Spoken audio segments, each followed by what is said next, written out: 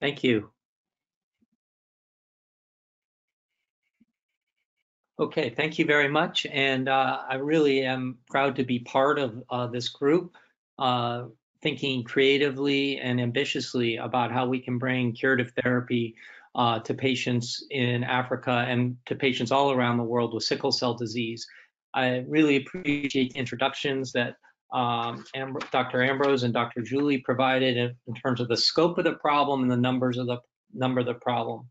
What I'll talk about over the next few minutes is the uh, strategy that we've been working on um, over the last few years. I will say I've been working on this for over 20 years, and I'm really excited to see uh, the, the, the possibility of this coming into patients in the next uh, six to 12 months.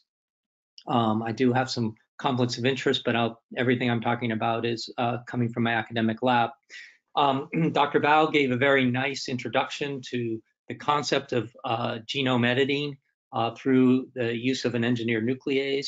And we're particularly interested in the idea of uh, repairing or correcting the underlying uh, pathologic variant that causes sickle cell disease using the homologous recombination pathway. and uh, Dr. Gang showed nice data using a single-stranded oligonucleotide as a donor uh, to fix that mutation. We've adopted another uh, type of donor to fix that mutation, and that's uh, delivering the donor template on a adeno-associated virus serotype 6 uh, vector. And so the system that we use is to uh, purify the CD34 cells, the uh, cell marker on the cell surface of hematopoietic stem and progenitor cells. And within um, the population of stem and progenitor cells are the true stem cell. And after purification and culturing in cytokines, we deliver the CRISPR-Cas9 uh, nuclease as a ribonucleoprotein complex, so a purified Cas9 protein complex to a uh, synthetically purified guide RNA molecule with modifications on the end to increase its stability and activity. And immediately following the delivery of the RNP complex, uh, we add an AAV6 that contains the uh, donor uh, sequence that the cell will use to repair the break and create the change we want. What we have found is, is that AAV6 efficiently transduces the CD34 cells, particularly if it's added within 15 minutes following electroporation. It, it seems that electroporation assists the transduction or EAT of AAV6. And we found the system is highly efficient in a wide variety of human stem cell types uh, ex vivo, and I've listed those on the right-hand side. So we want to apply this system to sickle cell disease. And as this audience uh, well, well understands, this is a disease in which a single nucleotide change in this uh, codon 6 of the beta globin gene leads to a single amino acid change, uh, causing the hemoglobin molecule to behave aberrantly in the deoxygenated state, causing polymerization and the adoption of the sickle, or as uh, uh, Dr. Ambrose said, a banana cell shape. And of course, uh, this disease is has devastating morbidity in all patients and early mortality in all parts of the world. So we have applied the RNP AAV6 system to uh, sickle cell patient-derived CD34 cells uh, from the peripheral blood. And in these experiments, the CD34 cells were spontaneously in the blood. Um, and what we found uh, with a fantastic team uh, uh, shown below, is that we are able to achieve 60 to 70% uh, allele correction uh, of the sickle cell, uh, of the beta globin gene in sickle cell uh, patient-derived CD34 cells. And when we take, uh, when we then look more carefully at the CD34 population, there are subsets that include uh, the global CD34 positive cells or the CD34, CD38 positive, which are uh, markers of the progenitor cells, or using cell surface markers that mark what we think are the true long-term HSCs, what we find is that the progenitor cells, the level of uh, HDR correction is higher in the 60 to 80% range. But even in the phenotypic long-term HSC, we're able to achieve uh, correction frequencies ranging between 50 and 60%. Now, what you can see here is, is that there is, uh, you can If you're a glass half full type of person, which I am, you can see that it's highly reproducible. But if you're a glass half empty type of person, you can see there is some variability between patients. And we have, uh, I think, uh, the long-term uh, study would be to understand why uh, different patients have different frequencies of, of, gene correction, and that goes to the human genomics interest of this group and many others. Now, the uh, so we were uh, so we're pleased to see that we're able to achieve gene correction in phenotypic long-term HSCs. Um, before we can go into patients, we want to show in an animal model that these uh, do have stem cell-like properties. Um, and so when we take uh, these non-mobilized CD34 cells from sickle cell disease patients, correct them and transplant them into an immunodeficient mouse, and look 16 weeks later to determine whether we have lost those gene-corrected cells over time, what we find is that uh, the gene-corrected cells are preserved, are, are relatively well preserved.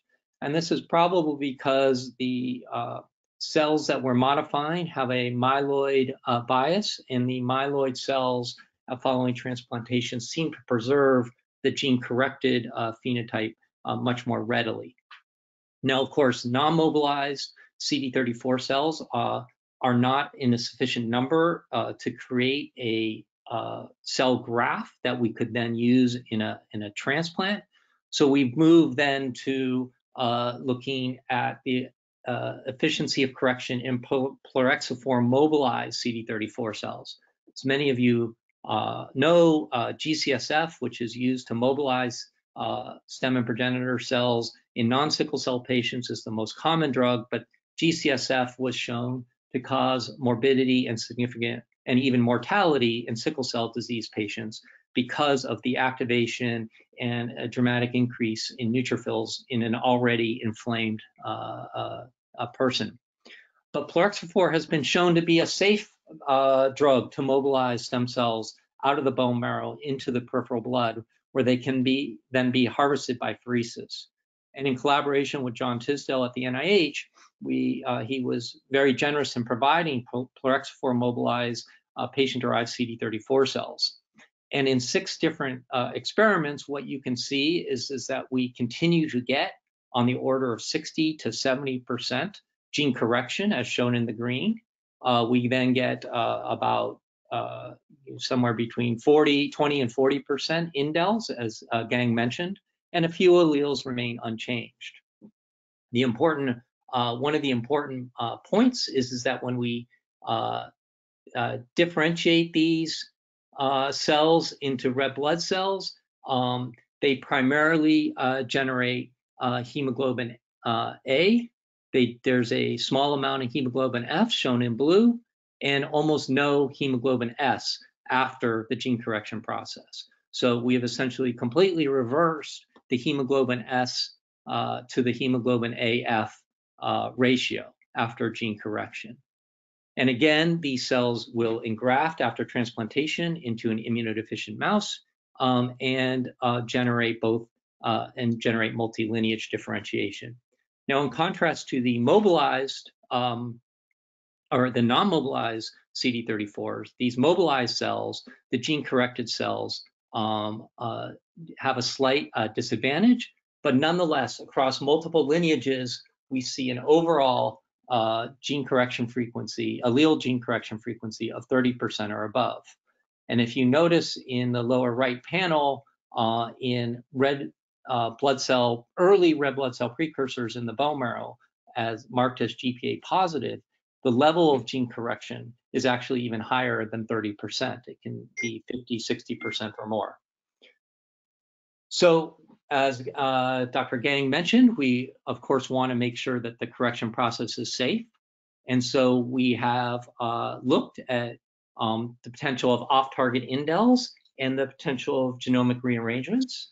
And as um, uh, Gang mentioned, uh, using a high fidelity Cas9, we find a very good uh, profile in terms of uh, molecular genotoxicity with only a single off-target site having measurable indels, uh, what we call off-target one, And this uh, site is 85,000 bases from the nearest gene and in a place of no known functional significance. In collaboration with Richard Frock, uh, who developed a unbiased uh, method of looking at potential chromosomal rearrangements, what we find is, is that the uh, frequency of translocations between our on-target site and the off-target site one goes down by about 35-fold when we use the high-fidelity uh, Cas9. And so uh, we think a, a, safety profile that looks uh, really excellent from molecu a molecular standpoint. Um, so as part of our process of uh, achieving an IND, we um, we uh, have tried to we have begun to scale up the process. And here I show six different uh, runs done in our GMP facility at a medium scale, so several hundred, uh, tens of millions to uh, a, a, couple hundred uh, to 150 million cells per run.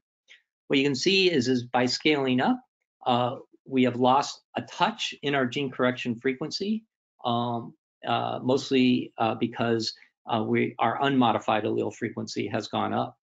Um, but nonetheless, we are still achieving between 40 and 60% allele correction which results in somewhere between 50 and 65% of the cells having at least one allele corrected. We'll note in some of you may be carefully noting that in runs three and four, our allele correction frequency is lower than 40%, but I'll note that these were products that were quite poor and had significant red cell contamination. And it highlighted to us the importance of starting your starting material being of high quality.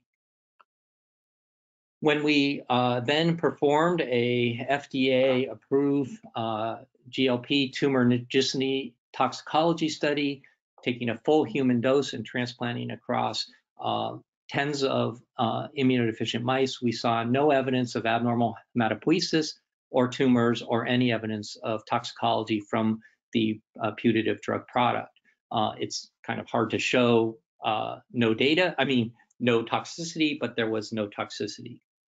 So with this in mind, we are now uh, beginning our full-scale IND enabling engineering runs. In fact, uh, our first of three is uh, starting is undergoing this week, and we hope to move uh, to file an IND in, later this year and enroll what we believe will be the first patients who will receive a gene-corrected autologous hematopoietic stem cell product uh, in either late 2020 or early 2021. I will note that um, the materials for this that we've been able to obtain from our CMO and our providers um, have, will be enough to treat um, thousands, if not ten thousands of uh, patients. Um, and thus the cost of goods is actually significantly lower than I thought.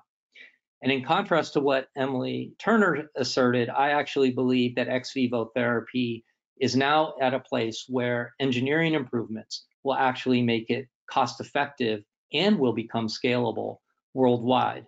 And I will note that in India, for example, the cost of a matched sibling donor allogeneic transplant has been reduced to 10 to 20,000 10 to 20,000 dollars per transplant. And an allogeneic stem cell transplant is significantly more complicated than an autologous stem cell transplant.